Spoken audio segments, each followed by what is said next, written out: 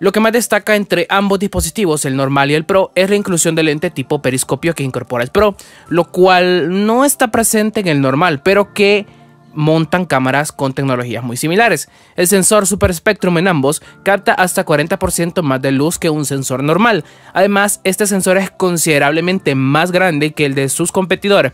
Si bien el P30 Pro incluye más complejidad dentro de sus cámaras, el sensor Super Spectrum que cambia el color verde del clásico sensor RGB a RGB o RGB, etc., captura amarillo en lugar de verde. No es del todo descabellado, ya que el amarillo contiene dos colores, el verde y el rojo.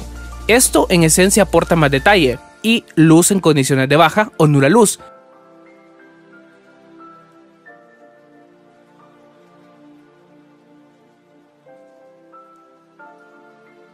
En cuanto al periscopio o super zoom, no es algo tan nuevo ya que Oppo lo ha incorporado antes, pero Huawei lo ha venido a hacer global. Permite hasta un zoom óptico de 5x y un zoom de 10x híbrido. El Pro aporta imágenes súper claras a 5x óptico, a 10x híbrido sin tanta pérdida y hasta 50 a digital.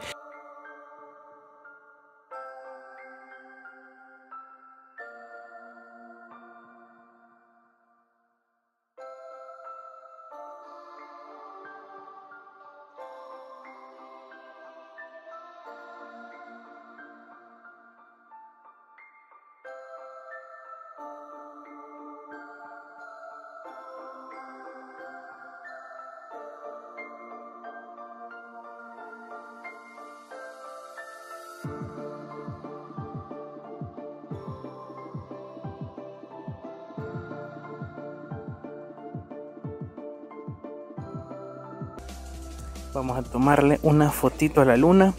Y pues bueno, primero hay que dejar activada la inteligencia artificial y vamos a seleccionar el modo de foto.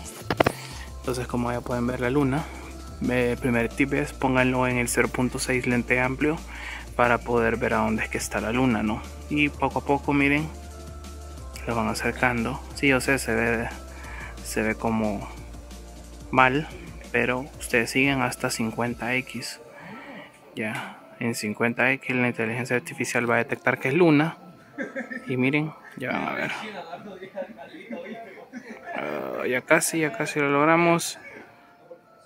Ahí está. Moon, cuando vean que se aclare, cuando vean que la, la luna, ahí está.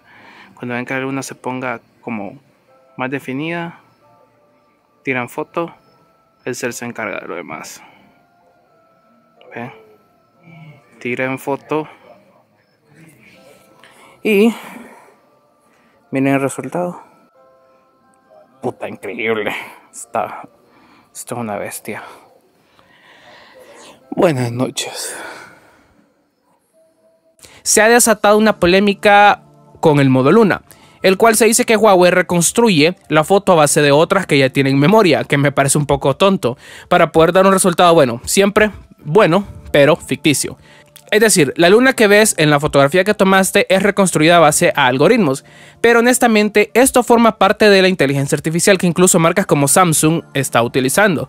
Todos usan a base de entrenamiento de imágenes la inteligencia artificial y obviamente esto se entrena con imágenes previamente ya tomadas para mejorar otras que son las que tú vas a ver cuando te está siendo asistida la cámara a través de la inteligencia artificial.